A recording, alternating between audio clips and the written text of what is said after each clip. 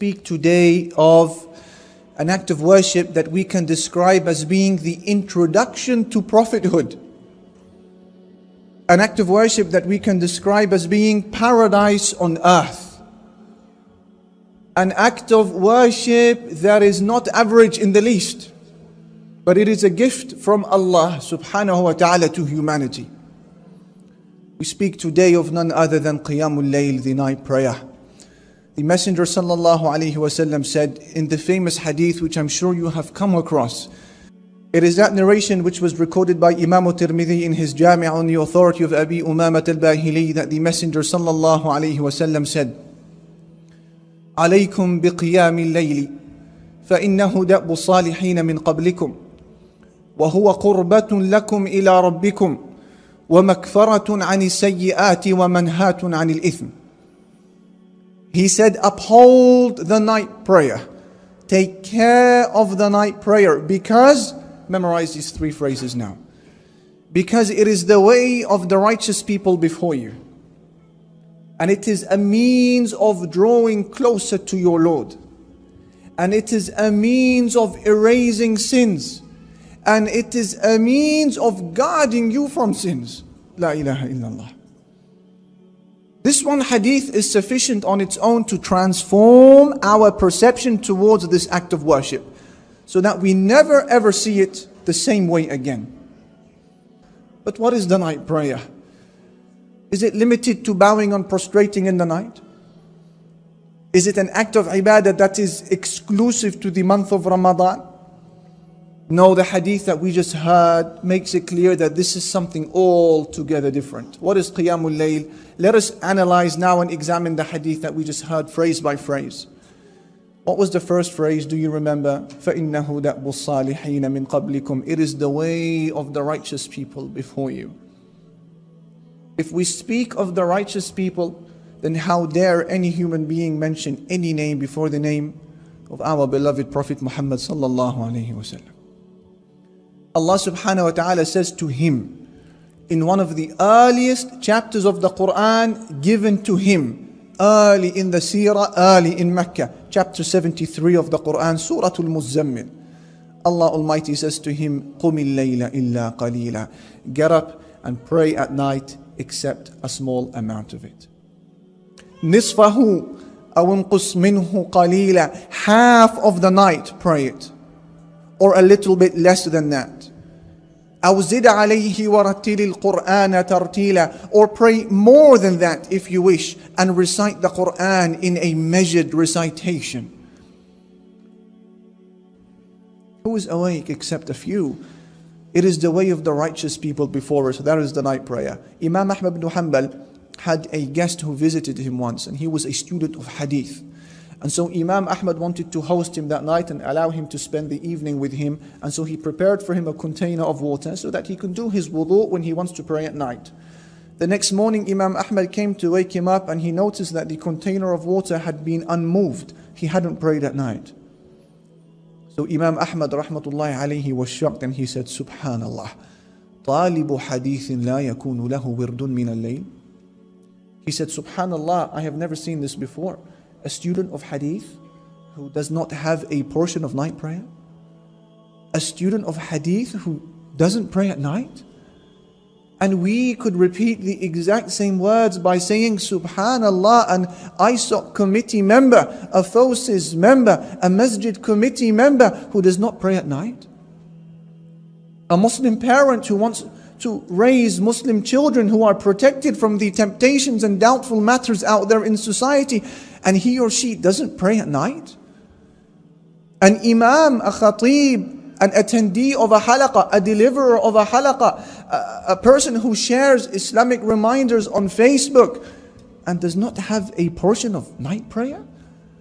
Somebody who believes that the squeeze of the grave is real and believes that he shall see the face of the angel of death and believes on the day of judgment that will be 50,000 years long and does not have prayer at night? How can that be?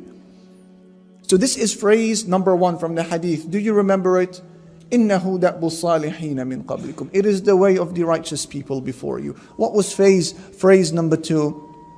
He said, If you remember, وَهُوَ قُرْبَةٌ لَكُمْ إِلَىٰ رَبِّكُمْ And it is a means of drawing closer to your Lord. For those who ask about a staircase that leads to the pleasure of Allah, for those who inquire about one of the shortest routes that lead to the acceptance of Allah, I say that you will find such a staircase in the middle of the night. Perhaps, dear brothers and sisters, this is one of the secrets why Allah Jalla Jalaluhu offers so much to those men and women who pray at night because it is a means of drawing closer to your Lord. Those who discipline themselves to pray, whether after Salatul Isha straight away or in the later parts of the night before Fajr, this is a means of drawing closer to your Lord. As he said, alayhi salatu wasalam, he has offered so much in thanks, so much as a reward. What is the reward? You're probably now thinking, what is the reward of praying at night? And the answer to this question is, we don't fully know. Yeah, it's been kept a secret. For the most part, it is hidden. And that is why Allah subhanahu wa ta'ala, He said in one of the most beautiful ayat, Surah Al-Sajdah, Allah Almighty says, تَتَجَافَى جُنُوبُهُمْ عَنِ الْمَضَاجِعِ Their sides forsake their beds.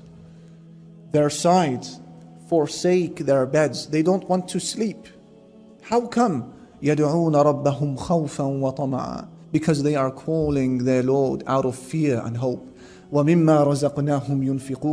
from the money we've given them, they are spending. So, O oh Allah, what is the reward that you have offered them? Tell us, O oh Allah, in the ayah after it. The answer is, فَلَا تَعْلَمُ نَفْسٌ مَا أُخْفِيَ لَهُم مِّن قُرَّةِ أَعْيُنٍ جزاء بما كانوا يعملون Allah says therefore no soul no soul knows of the delights of the eyes that have been hidden for it as a reward for what they used to do. What is the reward of those who call upon Allah Almighty and cry to Him and beg for their needs and prostrate at the door of Allah Almighty every evening? What is their reward? Allah Almighty, no soul has any knowledge of this. It's a prize, a surprise for them on the day of judgment. Why has it been kept a surprise? Somebody may ask. Imam Ibn al-Qayyim rahmatullahi alayhi takes a stab at the answer. And he says تأمل كيف أخفى الله تأمل كيف قابل الله ما أخفوه من قيام لليل بالجزاء الذي أخفاه عنهم مما لا تعلمه نفس. He said, because the same way that they would make an effort to pray at night and to not allow anybody to see their good deeds, Allah Almighty will reward them by giving them a reward, by giving them a reward that no human being has ever seen. They made an effort to hide their good deeds by praying at night. So Allah Almighty has thanked them and compensated them by giving them a reward that is also hidden. However, does this mean that we don't know at all what the people of the night are going to be given on the day of judgment? We have no perception of the reward in Jannah for them? No, no, we do have some perception. The Messenger sallallahu alayhi wasallam said, ثلاثة يحبهم الله تعالى ويضحك إليهم ويستبشر بهم There are three categories of people whom Allah Almighty loves and He smiles at them. Imagine Allah, Al-Malik, the King, Al-Rabb, the Compeller, Al-Jabbar, smiling at you. What must they have done to deserve the smile of Allah Al-Aziz, the Most Mighty? He said there are three people whom Allah Almighty loves and he smiles at them and he is happy with them. And he mentioned one of the three people, one of the three categories as being as follows ومن له امرأة حسناء وفراش لين حسن فيقوم ويصلي لله بالليل فيقول يعني الرب يذر شهوته ويذكرني ولو شاء رقد one of the three categories he says is a person who has a beautiful wife, a beautiful spouse, and a very comfortable soft bedding. But then in the middle of the night, he gets up and he leaves his spouse, leaves his desire to remember Allah. So Allah Almighty will say to His angels, Look at how my slave has left his bed and his desire in order to remember me. And if he wanted, he could have continued sleeping. Allah Almighty smiles at such a person.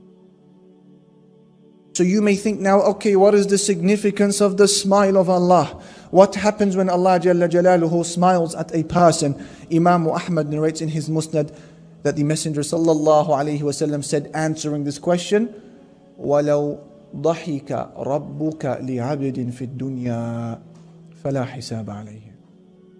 When your Lord smiles at a person, he said, when your Lord smiles at a person in the life of this world, he will not have any accountability on the day of judgment backdoor entrance into Jannah. All of the horrors that you and I hear about Yom Al Qiyamah, it doesn't apply to these people because they will not be held accountable. لا يحزنهم الفزع الأكبر. The ultimate terror, the terror of Yom Al Qiyamah, will not grieve them in the least. This is what happens when Allah smiles at a person.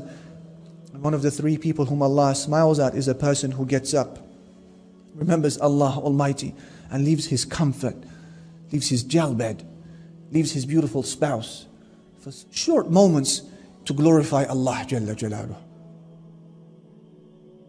Some of the reward Allah Almighty has prepared for them. What was phrase number three? مغفرة عن السيئات ومنهات عن الإثم. He said, and the night prayer is a means of erasing sins and is a means of protecting you from sins. Ya Allah, this is a profound statement, brothers and sisters. Dear brother, dear sister, if you have accumulated certain sins today or yesterday or at some point in your past, sins that you are so scared that Allah Almighty is going to remind you about them on the day of standing, then those sins can be erased at night. If you also have sins that you are afraid that you're going to redo sometime in the future because they're so addictive, they're so appealing, they look so good you are afraid that after your repentance you're going to go back to them, you will find your shield and I will find my shield in the night. It is a means of erasing sins, meaning of the past, and a means of protection from sins, meaning from the future. All of that is found in the night. La ilaha illallah. And perhaps this is one of the secrets, dear brothers and sisters, why the Messenger sallallahu alayhi wasallam refers to the night prayer as sharaful mu'min the honor of the believer. Because a person who minimizes his sin is honored in the eyes of Allah. It will take time, dear brothers and sisters, until you and I are able to unlock that sweetness. But when it comes, we will not want to replace it for any other joy in existence. It is really a paradise on earth. So, congratulations to those who illuminate their graves before they are leveled inside of it. Congratulations to those who please their Lord before they meet Him. Congratulations to those pray before they are prayed upon. I ask Allah subhanahu wa ta'ala to forgive our sins and to make us the people of the night, to make salah and siyam and tawheed and Islam sweeter to us than cold water. We ask Allah Almighty to forgive us and to forgive our mothers and fathers and to make our homes al-firdaus al-a'la. وصلى الله على نبينا محمد والحمد لله رب العالمين